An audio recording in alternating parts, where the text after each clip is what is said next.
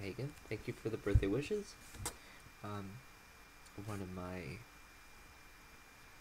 one of my most cherished memories with you is being at that crazy rowdy party in San Jose and sitting on the couch and being able to talk to you about some. Uh, it was just a really nice conversation. So, thank you.